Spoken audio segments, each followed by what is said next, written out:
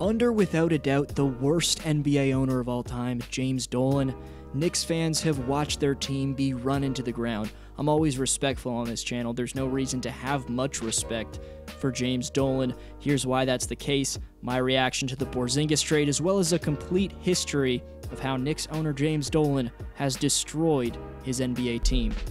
Quick shout out to Josh, who says Dallas plans to add Vucevic this offseason and then projects the stats for the Mavs' Big Four.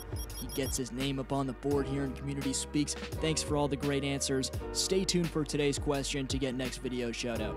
The argument could be made that Porzingis forced his way out of New York and he needed to be traded, also due to the fact that he's about to hit free agency. But from day one, they didn't treat Porzingis like a superstar. They wanted Melo to lead the way. There was the Phil Jackson beef, the constant coaching changes, and most of all, not surrounding him with any real complementary elite talent. Bottom line though, you can match any contract he's offered this offseason. You didn't have to trade him. But Dolan just can't let go of his ego, apologize for all that's happening, try and make the potential superstar talent happy. Instead, Mark Cuban's Mavs move into their winning era. I made a Mavs video yesterday, by the way, link in the description for that. But New York needed to draft a second star for Kristaps. Maybe Dennis Smith Jr. can let this new team elevate his career. They also get two first round picks in this move, so this is leaps and bounds. The best move I'll talk about today, though that's not saying much. This has little to do with Melo. He was a professional throughout his time in New York for the Knicks to even get prime Carmelo Anthony, which was unreal for a few seasons, don't get me wrong. But it took giving away all your young core to the Denver Nuggets instead of scouting talent for the draft and building up your young roster. You give it all away for a player who would soon drastically decline, and you would have to pay a five year, $124 million contract in 2014. Of course, after that, was when he started to decline. Denver built up into a playoff team right after that, delaying their rebuild. Then there's Isiah Thomas, who had just came off an impressive stint as the Raptors president. He was given full control of the franchise by James Dolan. His stint, however, was known for signing young, unproven NBA players to insane amounts of money over a long stretch of time.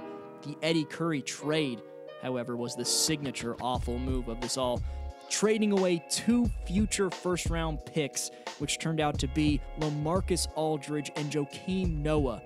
This killed the Knicks' chances, and by the end of his tenure, he had 56 wins and 108 losses.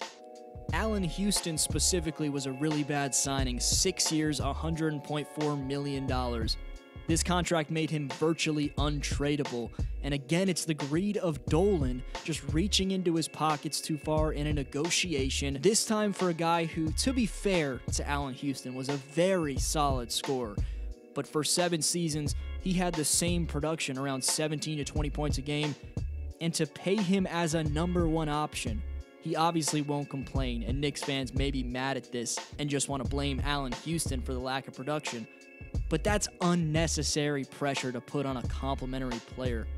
It doesn't get any worse after this, Knicks fans, but the most nightmarish instance in this video of dysfunction is without a doubt Phil Jackson's presidency. He came in and instead of rebooting the Knicks' reputation and attracting free agents like he was supposed to, he represented how dysfunctional the organization really was. He's probably the main reason why Porzingis wanted out of New York if you want all the blasphemy from Phil Jackson's time in New York, just search on YouTube Stephen A.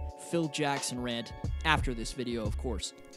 There's no team New York has helped more than my Toronto Raptors. Raps GM Masai Ujiri first gets Dolan to take a chance on Bargnani, who was a proven team killer. He couldn't play defense and really only cared about getting up his shot. But the Knicks accept this trade.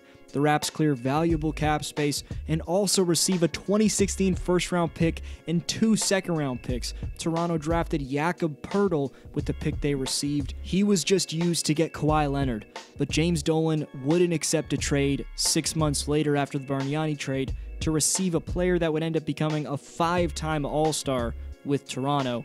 And that could have easily been in New York. In late 2013, Toronto nearly tore down their roster after trading Rudy Gay.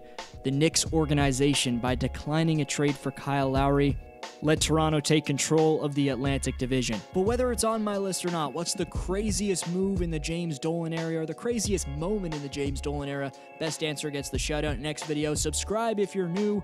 Thumbs up if you enjoyed. Thanks to the world for watching. This has been D Flow. See you next video.